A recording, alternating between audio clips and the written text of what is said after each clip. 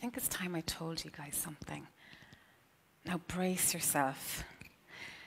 There's a lot of you guys in here that will not like what I'm about to say. You might feel offended. You might want to throw something at me. Maybe I should brace myself, actually. But I will feel the fear, and I will do it anyway. Remember my purpose.